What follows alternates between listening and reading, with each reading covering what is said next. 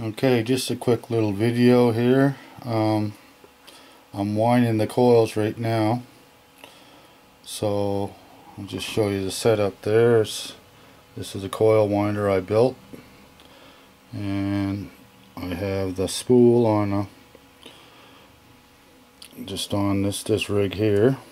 So it'll pull off easy. So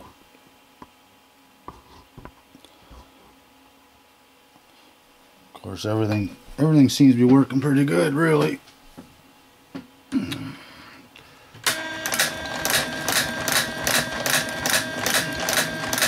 All I do is just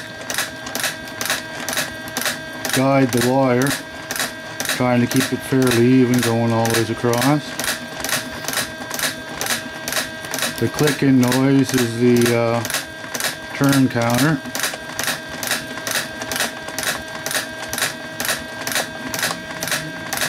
So it's counting every turn that goes by. I'm able to keep pretty good tension on it. And it uh,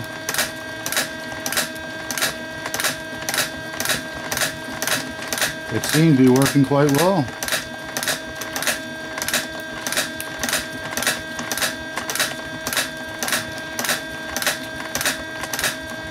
I can wind the coil here and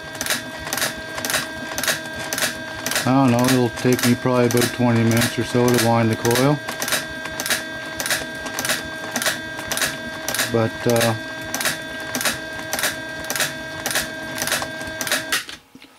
all in all, it's uh, it's working pretty well. This coil winder is is great.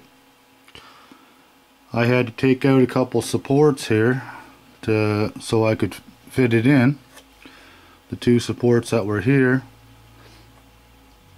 But it still uh, still works fine. Um, yeah I'm happy with it. It's working good. Cheers